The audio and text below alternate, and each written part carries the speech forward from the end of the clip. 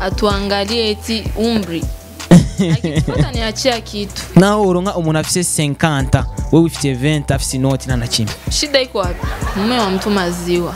Takufanyia cha zaidi ya chenye ulikuwa unafikiria ila tu ukifa kesho niache cha maana. Chenye tu nitaweza nikawashauria. Mm. cha kwanza wanakwagana kalika tabia.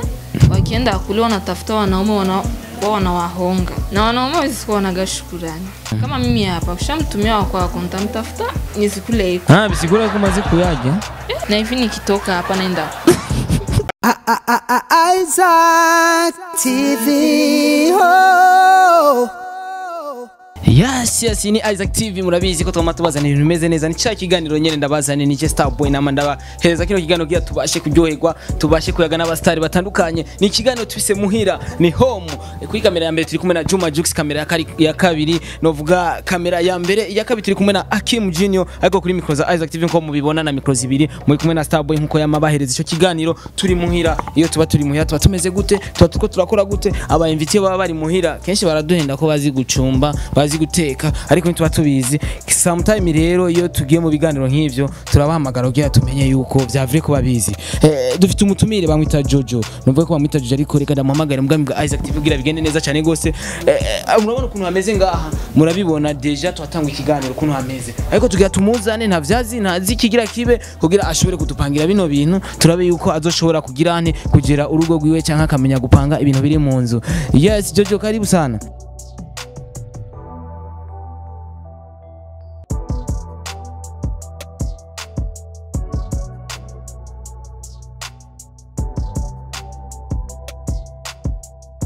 Yes ubu ni we bita Jojo muramubona nacabaye ameze fresh ariko mu nkundire kugira ndamuhe micro imwe kugira dushobore kuyaga. Ndamuhe micro imwe Isaac TV ndamuhe Noire cyangwa ya ya Bra reka ndamuhe ya Noire kwera abakobwa bakunda ivyera baca bisiga.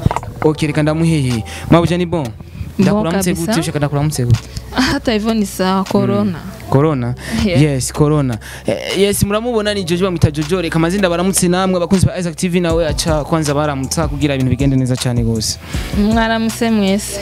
Eh, wabaramukije iyo umuntu ari muhira ukuntu aba ameze kenshi abastari iyo tubahamagaye eh, turababaza byinshi turabaza byinshi kugira canke tubabwira ivyo bakora byinshi turabe koko ko babishoboye iyo bari muhira kenshi baba bisize. Basa neza murabizi. Abantu bakora akazi turaza kumubaza akazi ke muraza kukumva. Nico gituma nshaka kumutesta. Urabona kino kibanza turimo ino saro turimo urabona ukuntu imeze ibintu birasanzaraye ngaha nkaje ndi umukozi boss aje aca teranyirukana mu kazi kuko urabona ukuntu kameze. Mbo gakore nka kumwe ku buryo boss ashobora kwinjira agasanga ahantu hasa neza ndetse akanakongera n'umushahara. Karibu sana Jojo.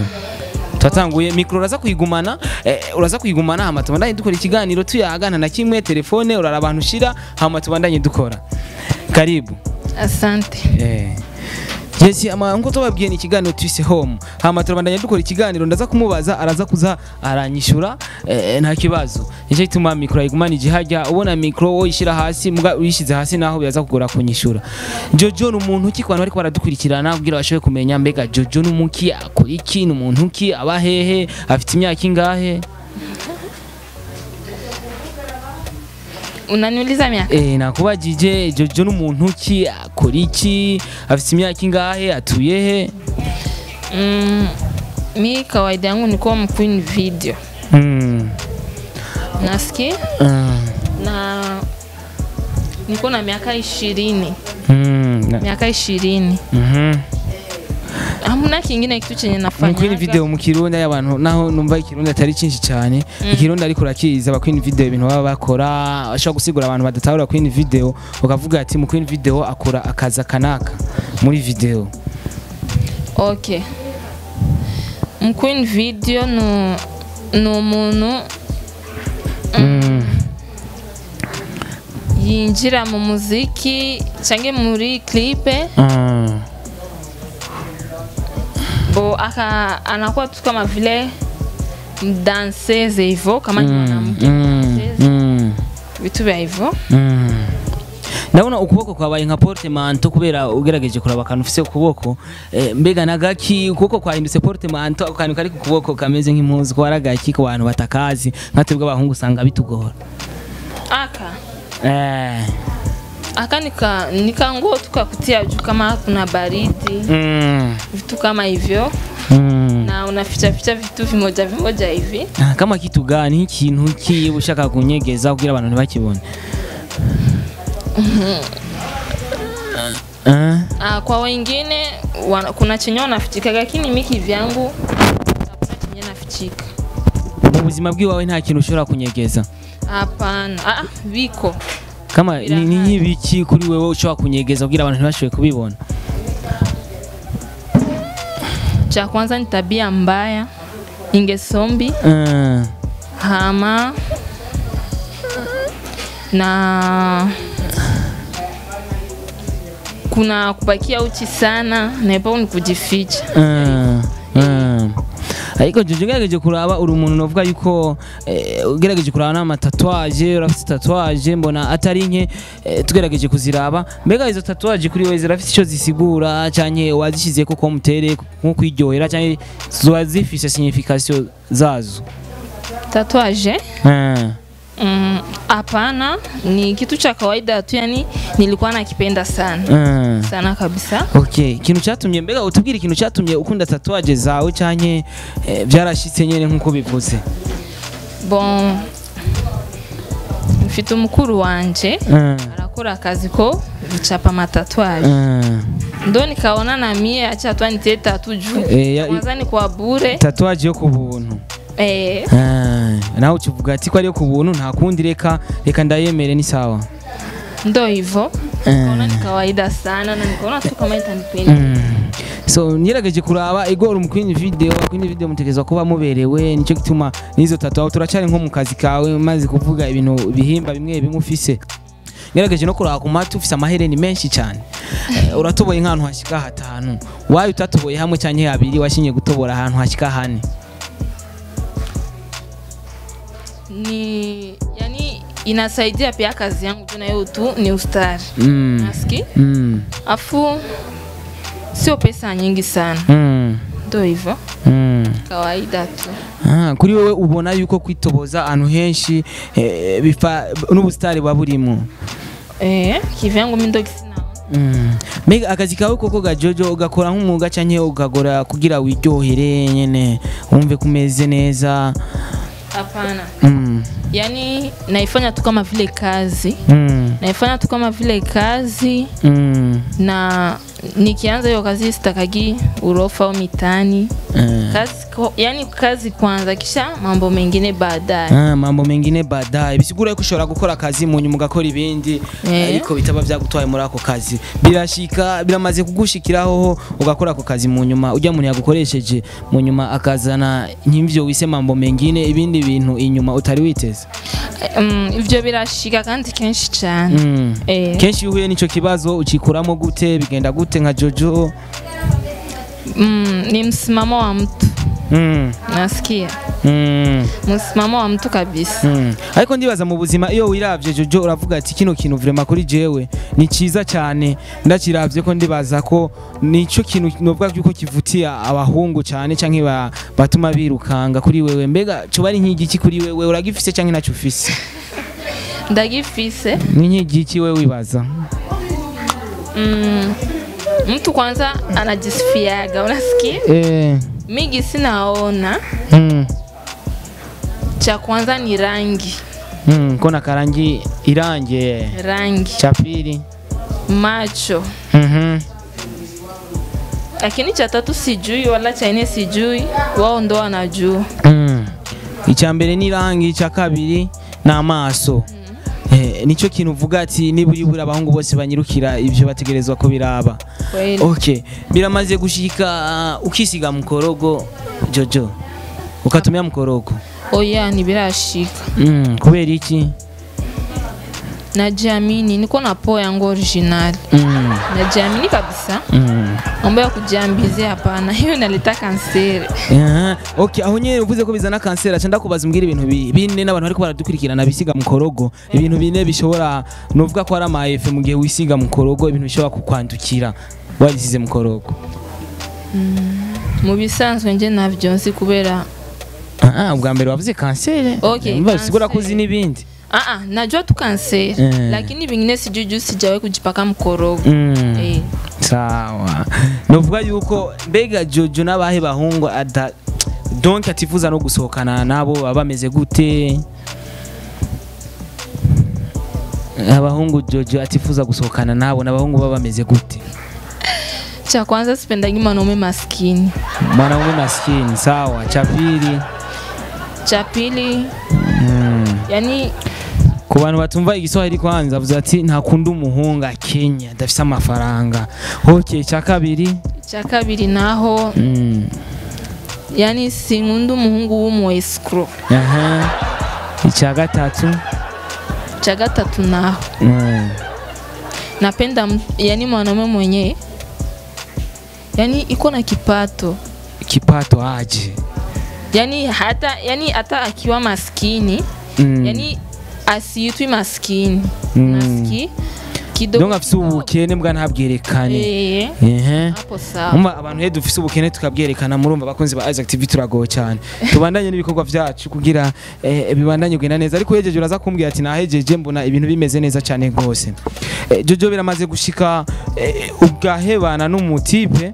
Hama ugaca usanga umutipe muhebanye aciye akundana n'umugenzi wawe w'umukobwa. Mu gihe uhuye n'uwo mugenzi wawe w'umukobwa yagutwaye umutipe bigenda gute? Ni action ikubako? N'aya majambo wo mubwira canke wowe umaze kumubwira?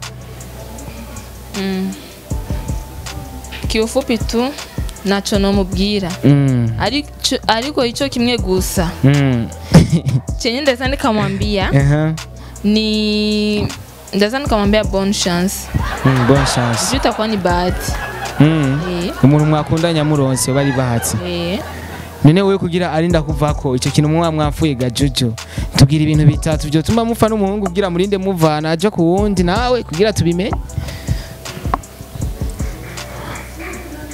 vyoba ari bigi- byinshi cyane Aha.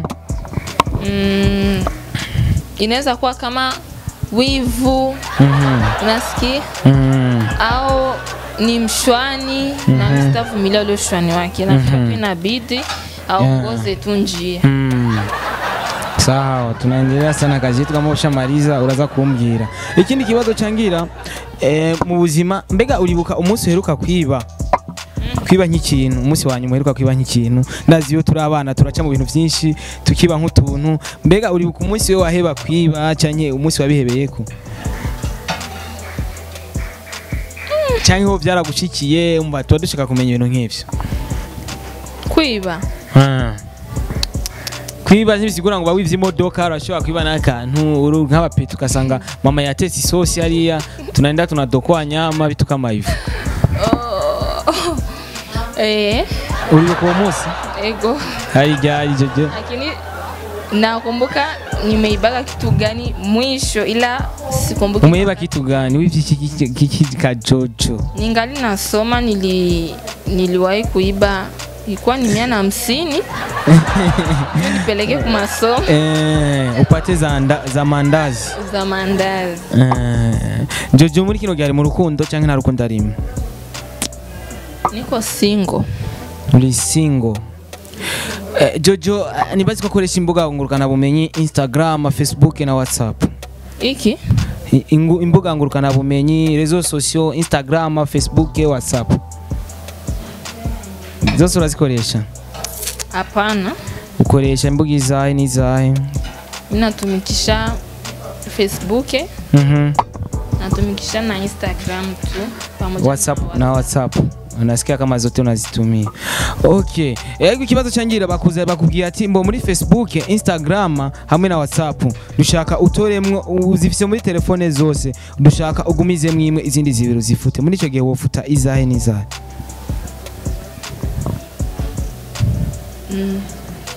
Taweza nika Tena nikafuta whatsapp. Mhm. whatsapp pamoja na facebook. Kwa nini whatsapp? Kwa nini facebook?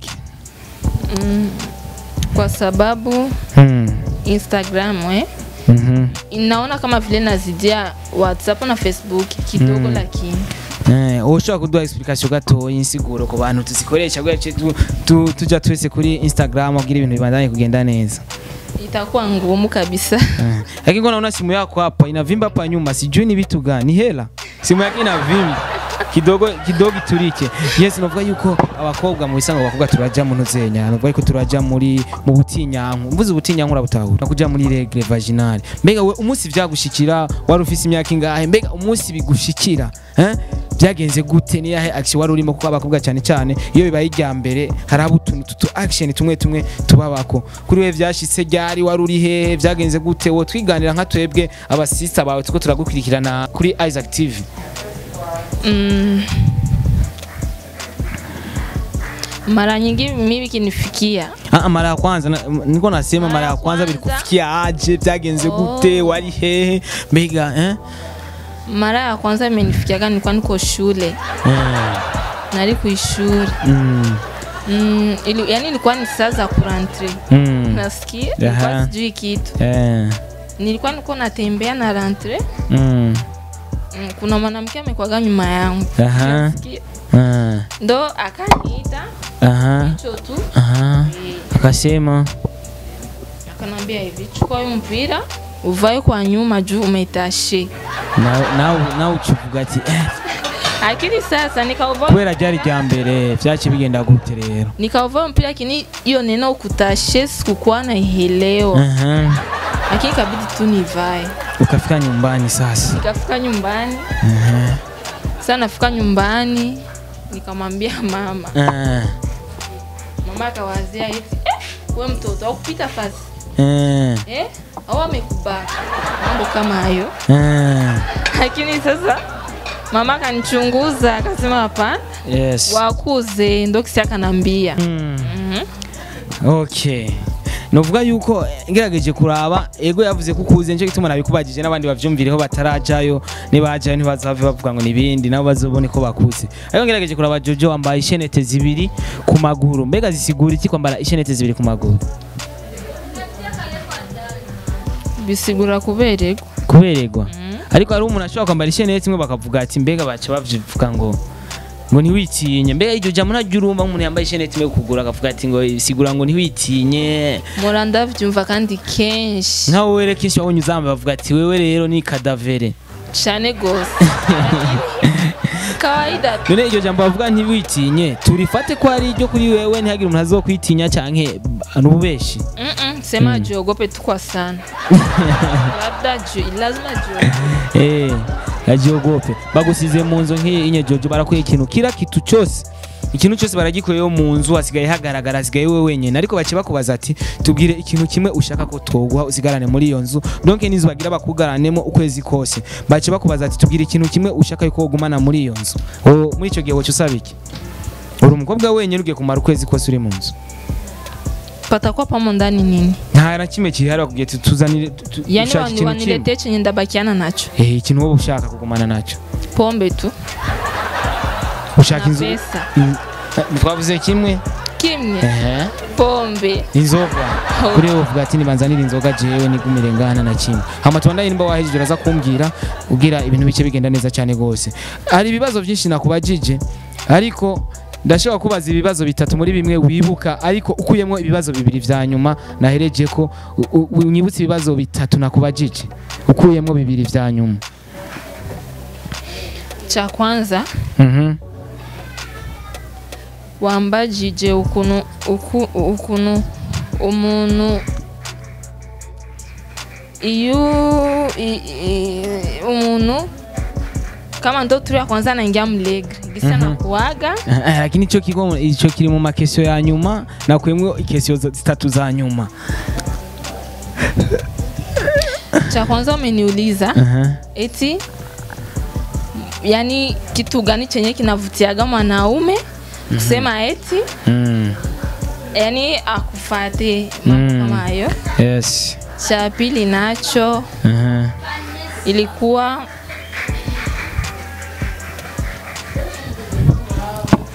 irakushinda ese reka tubandanye ntacyo.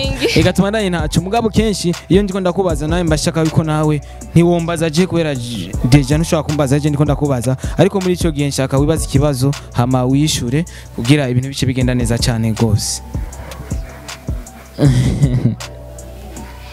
inanishinda. Yes nakushinda. Ahantu uvuga ko wahejeje gukora kugira duse n'abakrotira ikiganiro namaliza Mhm.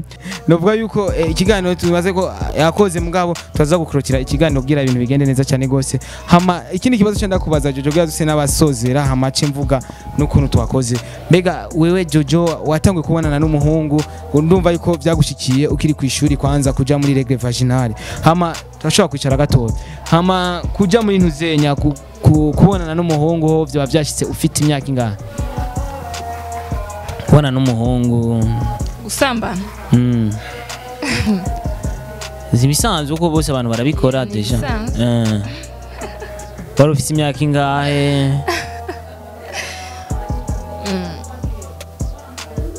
18 ans wari imyaka cumi n'umunani. Eh, none mu kubikora mbega wabikoze imyaka cumi n'umunani. Ariko biramaze gushikaho ukipimisha ukimwe mugera wa sida ukaraba ko gikomeye eh? lazima njipimishe. Mm. eh? Ubu haheze nk'iminsi ngahe ugiye kwipimisha. Ah ah. Urasubirayo. None nk'umubishyize ugasanga umunsi umwe uragiye kwipimisha ugaca usanga urawugwaye. Uca ubyifatamo gute ni igiki woca ukora muri icyo gihe? Nobifata nk'ibisanzwe. Wifata nk'ibisanzwe yes novuga yuko eh, ngerageje kuraba ikiganiro kiraryoshye kimeze neza cyane rwose uvuze ko wabikoze arakido 18 mbega umuhungu we muba mwarabikoze uramwibuka muramuhura sometime mugatera inkuru mukayaga mukibukanya vya kera ivyabaye. Mm. hawezi mkumbuka Eh, ntumwibuka ko kenshi bavuga ati umuhungu ngo yabikoze yawukwibuza biragoye kumwibagira naho yoja ku wundi mukobwa.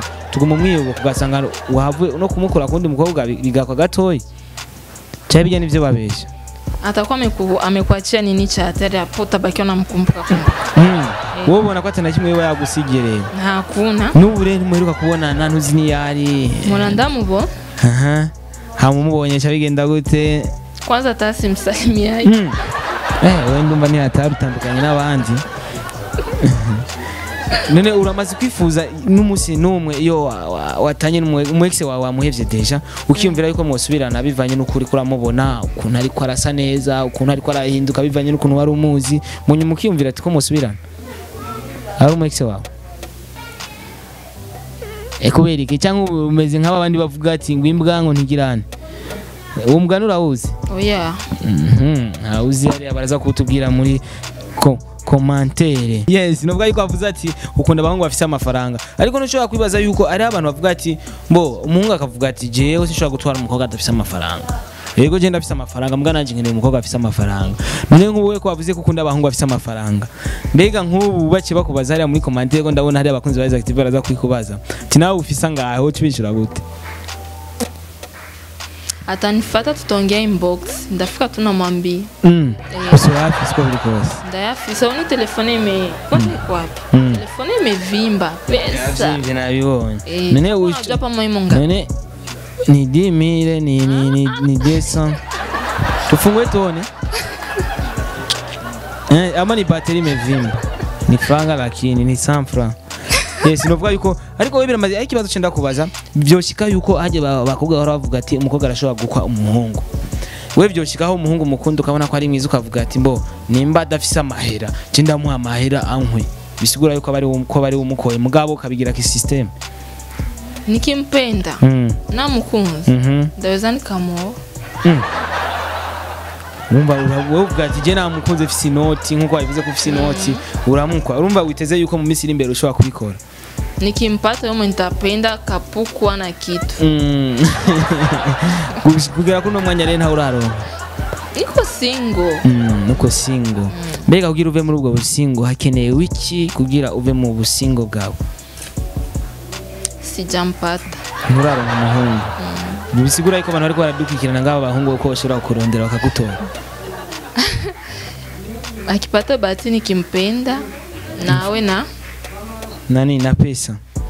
Eh, mugabo urumva we kukeneye ko sometime n'uwo ukwa uwo mukwa ukamuha iki ukamuha utudorari sivyo mm, aha. Naho uronka umuntu afise 50 wowe ufitiye 20 afise inoti nta na kimwe sugar daddy. Atuangalie eti umri. Niachia kitu. Shida iko wapi? Ikifa kesho? Uraba ati ntabyo kuraba imyaka kandi urumva ko uba um- umeze neza umuri muri kumwe n'umuntu akuruta ukamukora ibyo ashaka. Bien. Takufanyia cha zaidi ya chenye ulikuwa unafikiria, ila tu ukifa kesho niache cha maana. amuchi urondera uwundi. Ah, tunasikia nakuwa isha kufa Mm. eh. nari nawe ucuba mu buzima gute yamaze gupfa uca utangura ubundi buzima bushasha canke uca uvuga ati nta kundi vyashitse nafaka Ndabakia nitulie, nikijisikia nataka wakunioa mm. nitaolewa. okay novuga yuko eh, umaze kuvuga ukonye bisigura yuko eh, amaze gupfa urashobora gushika ukagira nte ugatora uwundi yamaze gupfa kubera afise imyaka. Biramaze gushika nkawe wejo ugasokana n'undi mugabo w'umugore w'abandi. Sivyo akagusokana kuko abagabo barya usanga yikundira abajene nkamwe mutara mutaribaruka cyangwa mutaraja. Mbega nuribaruka kwanza sinakubajije mpamvu asanga ndakuvuga ibitari vyo. Kwibaruka saveti. kuvyara umubebe Okay. Hmm? Naravyaye kera. urafise akabebe Eh. okay biramaze gushika rero ugasokana n'umugabo w'abandi Mume wa mtu maziwa. Eh? Mume wa mtu maziwa. safi mayo hii kipindi naona ni hatari ikiganiro cyaryoshye nguma nshaka kumubaza ibibazo byinshi kubera ko numva kimeze neza cyane rwose. Ariko nuvuga yuko nta kintu kidashobora guhera n'imvura iragwa igahera. Nuvuga yuko yapanze ibintu neza ariko nda- ndashobora gutanga amanota cyangwa nawe akayiha. Mbega wiha amanota angahe jojo ku byo wakoze ugerageje kuraba? Ubona wihaye angahe? Kugira duse n'abasozera? Hein? 89 sur 100. 89 600 kubera iki waye 89 600 izo zindi uca utubwira n'uwo wazisigiye kugira ugire 89 kuko iyo umuntu aronse 20 siri 30 nuko aba yakoresheje ibintu biri ku manota 10 wowe ikintu ubona wakoresheje kuri wewe ubona ari giki ugerageje kuraba. Huh? sinakorofya inzu sinakubuye aha. Ante kuri umukobwa wo mu rugo utakorofye cyangwa ukubure. Bisigura yuko eh, mu rugo tuzaba dusanga hari ibintu by'ibipapuro ibiki eh? abapebe binjiye barata ibintu hasi ukaca usanga byagumye. Hmm? bitakuja polepole Mm, bizoza buke buke. Angerageje kuraba n'amarido mbona amarido atameze neza nk'uko yategerezwa kuba. Nayo n'amanota nza kugukurako A- ariko se ntiwoshobora guhama- gukurako amanota umuntu ntumuhe n'ayandi. Novuga yuko ugerageje kuraba kuno yapanze intebe n'imeza. C'est bon vraiment much respect. Ndabona ni waro nk'umugabo vuba nko mwifuza. Nka- zirya ntuzenya ushaka umuntu aba afise comportement zimeze uku nuku. Ndabona bizokorohera gupanga iki? Intebe n'imeza. Ariko ibi bindi byo gukoropa no gukubura ndumva uzobikora kubera iki? Nabigukosoye. Naguhaye mbega bavyita rusake. Naguhaye ubusa. N'amarido ntameze neza urumva ni cyo cyatumye amanota ndayakurako yes novuga yuko eh, ni vyinshi cyane twayaza ariko akantu kamwe gusa akajambo kamwe jeje woronka opportunité cyangwa ukaronka novuga yuko umwanya wo kubonana n'abakobwa bari muri Saudi Ara- Arabia abantu bari muri Saudiya bari gukora mbega n'akahe kajambo bashikiriza kuko ndazi uri ngaha uri mu Burundi ibintu byinshi byo muri Saudi urabimenya naho utaraja gukorayo. Eh, mbega ni akahe kajambo babwira nko kubatekerera kome conseil canke nyine kuri wewe? Conseil nitaweza nikawapatia ni nyingi sana. Mfano? Ilifo niwape tu moja au ndogo. Sawa moja kuna shida tuambie chenye tu nitaweza nikawashauria. Mm. cha kwanza. Mm. Juu wanakwagana kalika tabia wakienda kule wanatafuta wanaume wana, wanawahonga. Mhm, mm. na wanaume wezikuwa wanaga shukurani. Eh, tampa kuwa na enjoy na wengine. Mm. kama mimi hapa kushamtumia wakwako ntamtafuta nizikule iko. Uzomurondera uyage kwenye ya bimbizi ah bisigura ko umaze kuyaje mara ngapi? Mara nyingi. Na hivi nikitoka hapa naenda urumva bararungi bararungikira iki bararungikira abahungu. Mbwa abakobwa sinzi ko bishika baba barungikire. Novuga yuko bama bayarungitse nawe ukayajya urumva?